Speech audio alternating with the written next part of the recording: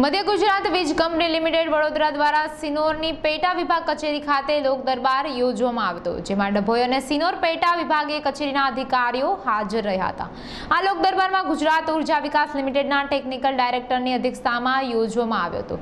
આ લોક દરબારમાં ખેડૂતો અને વીજ ધારકો દ્વારા રજૂ કરવામાં આવેલ વિવિધ અરજીઓ પર ચર્ચા કરવામાં આવી હતી.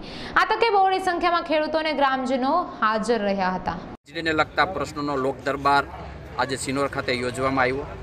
એમાં બહોળા પ્રમાણમાં લોકપ્રતિનિધિઓ અને ગ્રાહકો પોતાના પ્રશ્નો માટે હાજર રહ્યા. તમામના પ્રશ્નો એક શાંતિપૂર્ણ અને સુમેળભર્યા વાતાવરણમાં રજૂઆત કરવામાં આવી અને એ જે પ્રશ્નો છે, એમાં હકારાત્મક જે છે નિયમની મર્યાદામાં રહી અને હકારાત્મક એનો જે નિવેડો લાવવા માટે અહીંના સ્થાનિક અધિકારીઓને તેમજ ડિવિઝનના અધિકારીઓને તાકીદ કરવામાં આવી છે અને ખૂબ સુમેળભર્યા વાતાવરણમાં આ લોક દરબાર આપણે સંપન્ન કર્યો છે. આભાર.